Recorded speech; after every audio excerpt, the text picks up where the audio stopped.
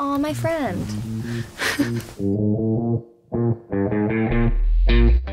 The Pink Lady Pledge is to act cool, to look cool, And to be cool. till death do us part. Think pink. I feel like before that we were like, okay, we're working, let's do it. But once we put these jackets on, it was like, this is happening. the first time I put on the pink ladies. Okay, so I have to like calm myself down even talking about it. Our first reveal in the jacket on screen was also our first reveal in the jacket in life.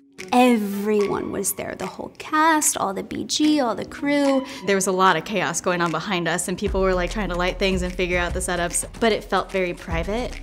We we linked arms, and we made like a little like diamond. we all looked at each other and got a bit emotional because it's like we're pink ladies. Probably eight people in the history of the world have put on a pink lady jacket for a character that they originated. It's just something that's so exciting. And every time I put this jacket on, it's just as exciting and amazing. I feel like it's a rite of passage. Everyone I know that's ever done theater growing up has done Grease, and I never got to do Grease. Now, I don't think I need to be too mad about it now. Again, it's just like a surreal moment of like, wow, can't believe it.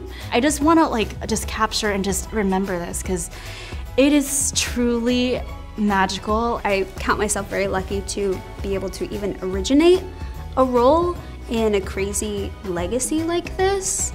The act of putting on something so iconic really solidified that this was real, that these characters are part of the canon of Grease. I just want to be buried in it. Like it's really comfortable and iconic, and I have a hard time when they want to take it off of me at the end of the day.